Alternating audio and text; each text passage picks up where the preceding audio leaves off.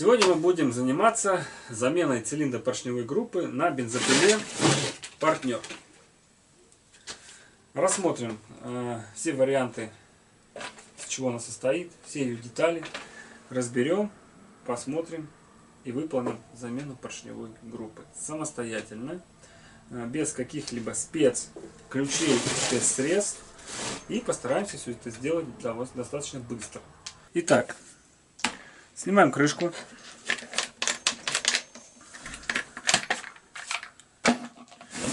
И вот сразу мы видим глушитель, цилиндр, карбюратор.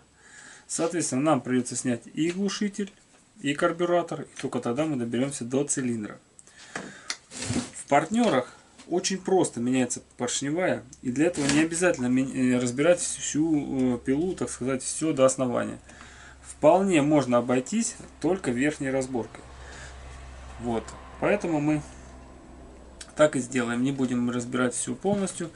Мы обойдемся верхней разборкой. Что нам понадобится? Нам понадобится свечник, чтобы открутить свечу. Нам понадобится H4 шестигранник. Нам понадобится герметик. Герметик. И головочка на 8 головка на 8.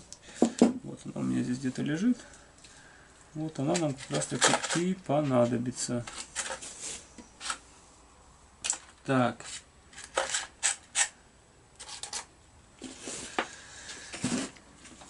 Снимаем глушитель. Первым делом снимаем глушитель. Вот как раз берем на 8 головку и откручиваем его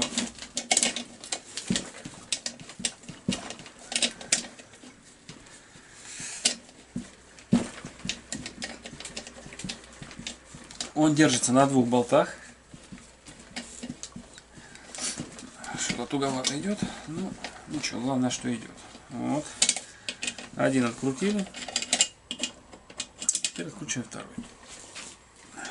Не поддается. Берем вороточек. Откручиваем.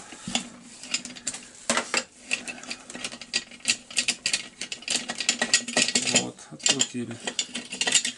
Как я уже говорил, перед разборкой советую брать какую-то коробку и туда все это дело складывать, чтобы вы ничего не потеряли, а то, как у всех русских, останутся у вас какие-то лишние запчасти. В пиле такого быть не может.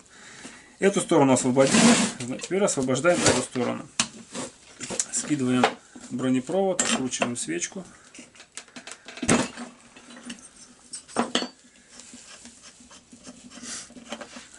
Стороночку. Убираем топливный воздушный фильтр.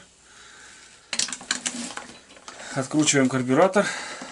Он, как мы помним, если вы смотрели урок по карбюратору, на двух болтах держится. Откручиваем.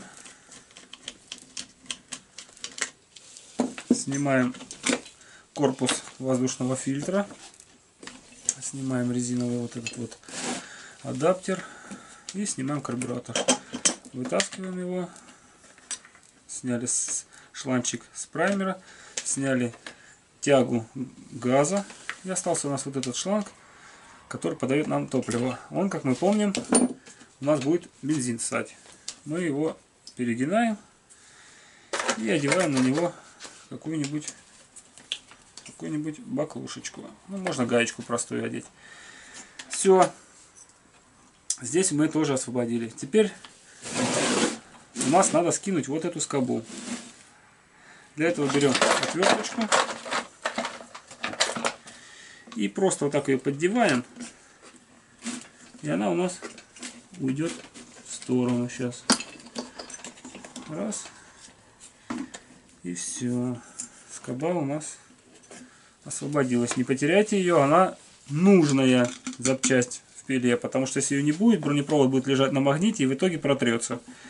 Так что ставить ее обязательно. Все, поршневую в принципе мы освободили.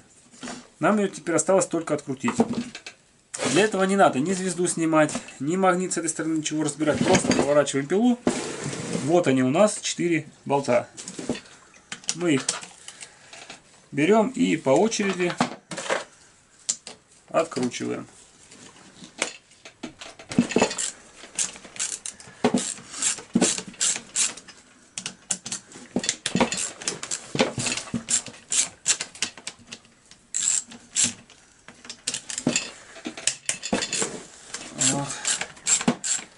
Как видите, это реальная пила и реальные болты. Ничего я тут не подготавливал, заранее не откручивал, так что все делается при вас впервые. Хотя пила это работает, поршневую менять мы не будем на ней. Я вам просто покажу, как это делать и назад соберу. Вот. Снимаем болты.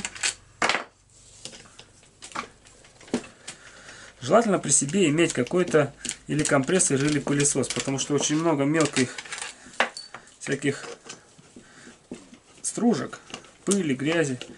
Это все лучше, конечно, выдувать пылесосом. Но у меня такого, такой возможности сейчас нет, поэтому пока мы обойдемся без нее. Теперь берем и надавливаем на саму поршневую вот отсюда. И она у нас отрывается от нижнего своего блока. И вытягиваем ее просто вверх. Вот она. Вот она наша поршневая. Здесь нет никаких прокладок. Она сидит на герметике. Обычный автомобильный масло-бензостойкий герметик. Вот. Здесь внутри мы можем увидеть коленвал. Вот он, коленвал. Поршень, кольцо, подшипники с сальниками. Вот. И мы должны внимательно, внимательно рассмотреть все, что можем здесь. А именно, покрутить, покрутить вот так вот коленвал и посмотреть на рубашку подшипников вот здесь, чтобы она была не повреждена с этой стороны и, соответственно, посмотреть с другой стороны, чтобы она тоже была не повреждена. Потому что если рубашка повреждена, есть небольшой скол, хотя бы даже с одной стороны, вы поставите новую поршневую, начнете работать, он от, отщелкнется, рубашка с другой стороны попадет в поршневую и задерет новую поршневую. И вам придется опять э, менять, опять растрачиваться. Это, как мы видим, родная поршневая. Это легко узнать, потому что э, родные поршневые идут с одним кольцом. Все э, поршневые, которые вы будете покупать, они уже будут двухкольцовые. Но по поводу э, того, сколько колец, хочу сделать небольшое отступление. Потому что приходят в магазин люди и говорят, мне дайте два кольца. Да хоть три, хоть пять колец. Если производитель заявляет, что данная пила имеет мощность 1,5 или 1,7 киловатта, это не значит, что если 3 кольца, там будет 8 киловатт. Нет. Там так и будет 1,5 или 1,3 киловатта. Поэтому все старые пилы, Husqvarna, партнеры старые, все идут с одним кольцом. Это, возможно, даже просто такой маркетинговый ход, потому что многие люди хотят два кольца и требуют два кольца. Пожалуйста, возьмите. Наоборот, с двумя кольцами трение об цилиндр больше, потому что два кольца трутся и греется пила сильнее. Э, может, есть какой-то, конечно, и положительный эффект от второго кольца, но на самом деле он не столь уж значителен, как э, его преподносят ну, сами люди, которые не знают, как и чего считается в мощности двигателя. По возможности все здесь вычищаем. Вот я же говорю, если э, дунуть туда хорошенько, будет гораздо лучше компрессором. У меня под рукой компрессора нет, будем собирать так, тем более мы ее как бы особо не расшевелили. Все как и было, так и оставляем. Вот. Это первый способ, который, так сказать, быстрый способ. Можно за 20 минут поменять всю поршневую. Это я просто много рассказываю, разговариваю, чтобы вы более понимали. И, и, соответственно, медленный есть способ, когда разбирается все. Снимаете все полностью, снимаете, вымываете. Но, поверьте, не намного. Это продлит срок службы так как мы сейчас быстро поменяем, или вы все перемоете и поставите. Лучше, конечно, но не намного. Вот. Здесь, так же, как и на всех других пилах, э, поршень держится на стопорных кольцах. Вам его надо будет снять, стопорное кольцо, и вытащить старый поршень. Здесь я этого делать не буду, потому что сейчас поврежду стопорное кольцо, потом при, при повторной его туда установке, оно у меня может соскочить и задрать поршневую. Просто поддеваете чем-нибудь острым, отверткой или чем сюда его раз, и он выскочит. Стопорное кольцо вылезет, вы с этой стороны чем-нибудь толкнете. Ну, кстати, может тяжело выходить, придется даже, может, постучать. Вот, поршень, палец сюда, вернее, выйдет, и вы снимете спокойно поршень. Осмотрите, внимательно осмотрите игольчатые подшипники. Здесь на поршне и здесь на коленвале. Оденете кольцо. Ну, там у вас будет два кольца. Вот, оденете два кольца. И соберете. Как кольца одевать, я уже показывал на пиле э, цыганской. Ну, покажу на этой, что кольцо одеть, в принципе, не проблема. Это э, главное все делать аккуратненько и не спешить. Заодно проверим, какое здесь колечко. Здесь оно еще вполне даже, вполне добросовестное, хорошее, вообще поработает. Вот. Всегда поршень одеваете, чтобы замок кольца был к карбюратору, то есть к нашей стороне. Не, не, не должен смотреть на глушитель, он должен смотреть на вас. Так как их будет два у вас кольца, они оба замка смотрят на вас. Одевать также просто берете, просто чуть-чуть пальцами его расширяете и туда его Хлоп. Садим на место. Это все. Теперь по поводу герметика. Здесь просто чистим. Достанете чем-нибудь тряпочкой, чистите тряпочкой. Да хоть чем, хоть ватными палочками, не знаю. Главное, чтобы вычистили. Соответственно, надо будет еще также перекрутить вот этот адаптер. Тут у нас на звездочки он держится торкс 25 25 торкс с прокладками осторожней прокладки сейчас тоже дорогие. 25 торкс откручиваем. Перекручивайте обязательно сразу то есть вот со старой сняли здесь и перекрутили на новый на месте вы как следует не затянете поэтому перекручивайте пока поршневую вы еще не поменяли вот, открутили. И, соответственно, берете новую поршневую и прикручиваете. Проверяйте заодно вот эту сразу прокладку. Она должна быть вот как вот здесь. Она практически новая. Вот. Если болты вот эти когда-нибудь откручивались бы сами от вибрации, прокладка была бы вся э, испорчена. Здесь она хорошая. Ну, допустим, это новая. Мы берем, проверяем, э, все ли у нас здесь в порядке, нет механических повреждений, на новой тоже может быть какие-то сколы, обязательно проверяйте. И устанавливаем вот этот вот теплоизолятор, прикручиваем его прямо на месте. Потому что если вы уже установите на пилу, там его крепить будет очень и очень неудобно.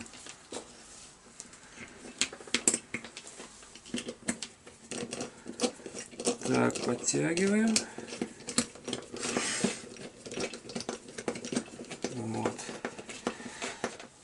И вторую. Очень много уходит именно на вот эти раскручивания до закручивания времени. Здесь надо подтянуть как следует, потому что иначе, если я вам говорю открутится, будет проблемка.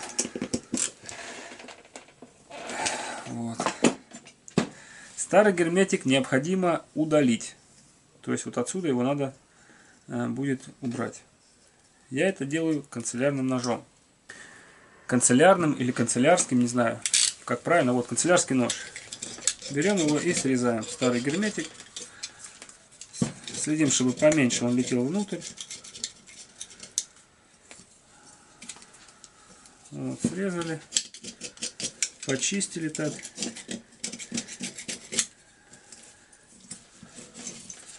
Вторую сторону. Не надо пытаться тут что-то до блеска наводить. Это все глупости. Лишь бы он лишний не торчал нигде. Старый. И мусора не было. Все. Берем герметик.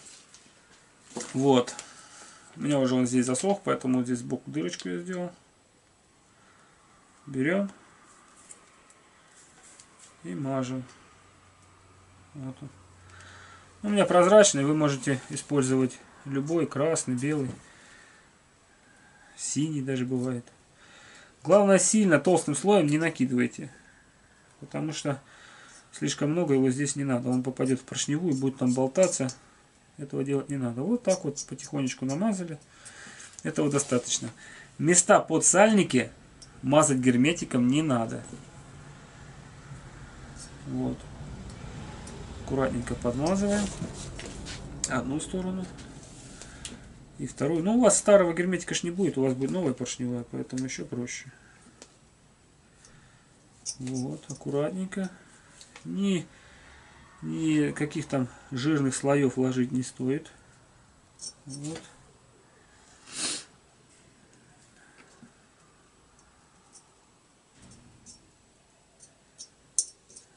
Сейчас я это дело все сделаю.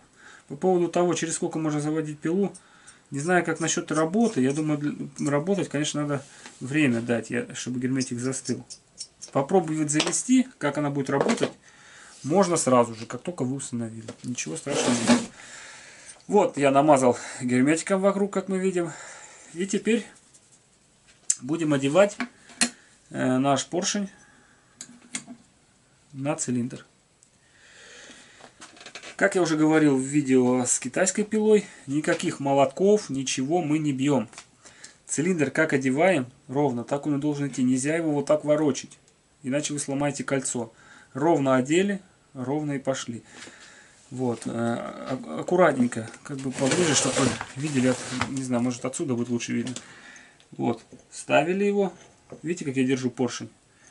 Теперь вставляем цилиндр и как бы шевелим конструкция самого цилиндра сделана таким образом,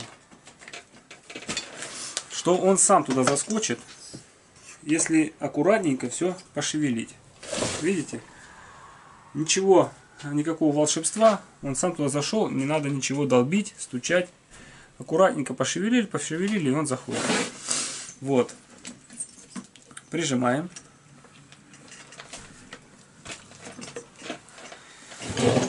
Прикручиваем болтами.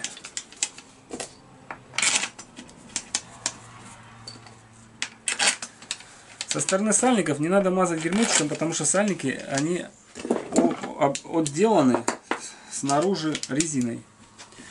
И эта резина сама является как герметик, она очень хорошо плотно прижимается. Все, подкручиваем.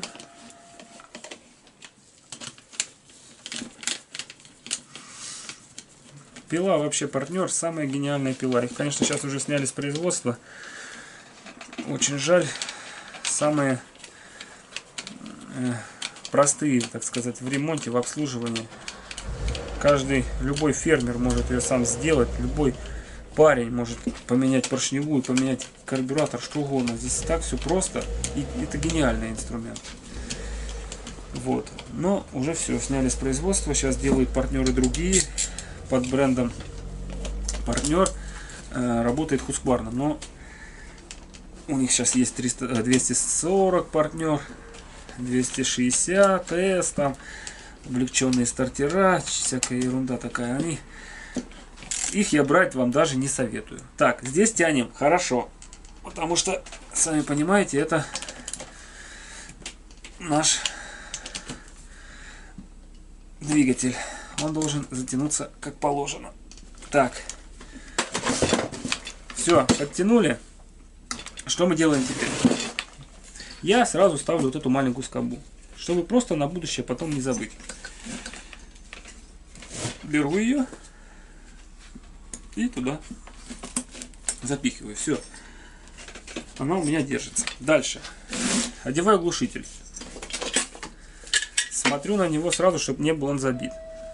Ну, не забит, все в порядке. Я беру его и прикручиваю. Он также прикручивается болтами на 8. Я имею в виду гайка должна быть, ну, головка на 8. Вот.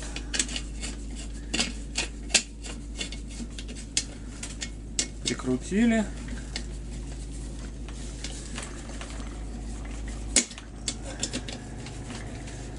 и подтянули. Потому глушитель тоже должен быть хорошо подтянут. чтобы под него не ничего нам не не проходило под него никакие газы. Так, с той стороной закончили, осталось с этой стороной поставить карбюратор. Вы прекрасно помните по моему уроку по карбюратору.